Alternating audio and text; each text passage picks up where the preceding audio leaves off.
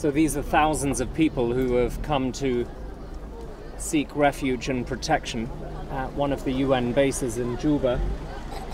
Uh, there are a lot of men here, as you can see, uh, but many women and children as well. Maybe we yeah, maybe we could go in here. There's a couple of.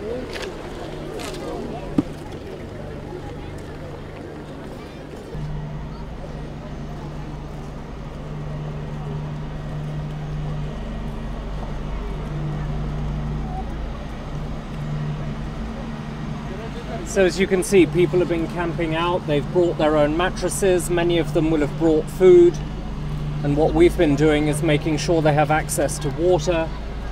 We've cordoned off certain areas so that they uh, uh, can take care of their sanitary needs.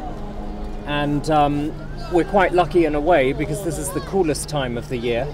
So during the day, it's not blisteringly hot. On the other hand, at night, uh, it is a little too cold to be sleeping out in the open.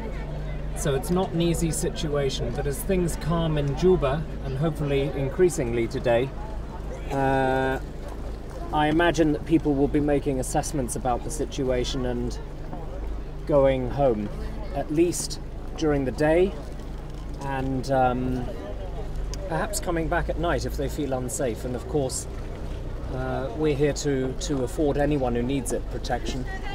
So if men and women, children, boys and girls, they want to come here, they are welcome.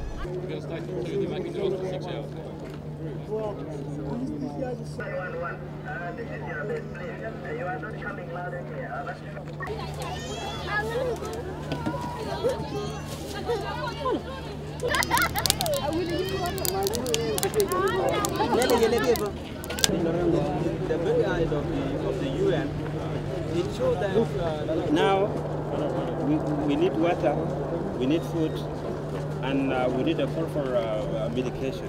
What we really need you to help with is to try and keep your brothers calm. Try and keep the women and the children as calm as you can. You know, you have a very special leadership responsibility right now. You're men, you're leaders. Exert all the influence that you have within the community, no matter how young or old you are, to keep things calm. My opinion, I do think that today things are much calmer than they were yesterday. But try to make contact with people who are in your neighborhood, who are. What we've seen here over the past couple of days in Juba is uh, an intense political struggle within the ruling party. It's generated violence, it's generated, of course, consequences for civilians, 20,000 of whom have now sought shelter and protection in one of the two UN bases that we have in town. I've just walked through one of these bases, I've listened to women and children to a lot of men who are concerned about their own safety, and that's why they've come to the United Nations. And what we as a peacekeeping mission, what we as a UN team can do for people is first and foremost help them with their protection, help them to be able to seek refuge in a safe place. Um, and in addition to that, we, we will be providing water.